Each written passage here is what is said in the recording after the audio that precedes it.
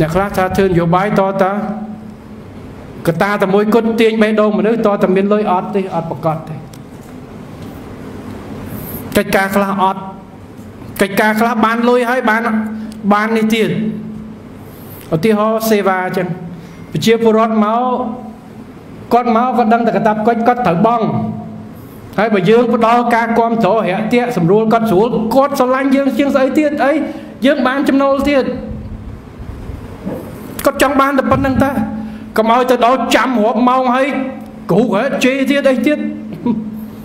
ហីឯងទៅធ្វើសម្បត្តិកោជេរឯងផងចាំចង់20ម៉ោងឧទាហរណ៍បាទពេលខ្លះវាត្រូវគុណធម៌សិលធម៌ទៅអត់តាមជាមួយអាហ្នឹងវាបេះដូងយកខ្មែរយើងអញ្ចឹងហើយយើងត្រូវគិតថាប្រជាពលរដ្ឋយើងមានវប្បធម៌មានមួយហើយអាហ្នឹងដែលថាបេះដូងសំខាន់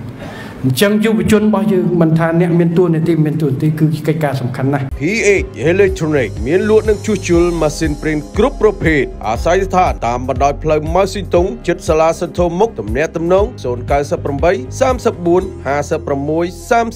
56 31